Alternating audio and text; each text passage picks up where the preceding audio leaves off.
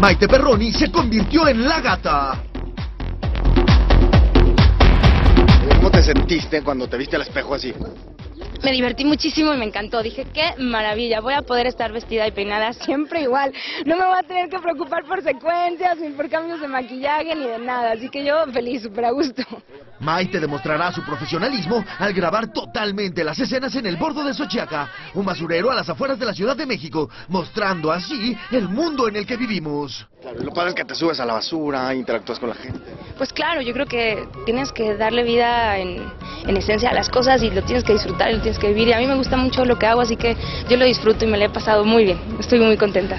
Este fin de semana se dio el claquetazo oficial para el arranque de grabaciones de la telenovela y Daniel Arenas, el galán de la historia, asegura que este es uno de los proyectos más importantes en su carrera. Es una historia maravillosa.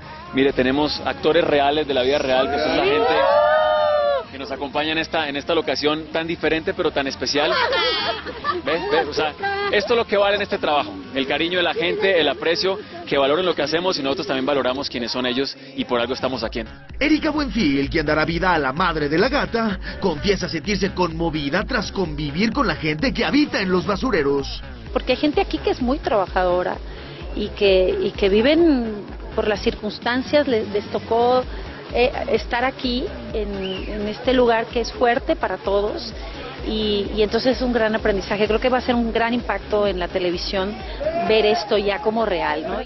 Y en exclusiva te presentamos a quien le hará la vida imposible a Maite. Ella es la actriz Alejandra Robles Gil, lanzamiento antagónico juvenil en La Gata. Bueno, mi personaje es Inés. Está muy padre el personaje, la verdad es que es una muy mala persona, pero al mismo tiempo se justifica por todo lo que ha vivido. Tengo planeado un poco destrozarle la vida en cuestión del amor. Producida por Natalie Lartillo, La Gata promete ser uno de los éxitos televisivos del año y se estrena el lunes 5 de mayo a las 4.15 de la tarde. Vive hoy Diego Barrios.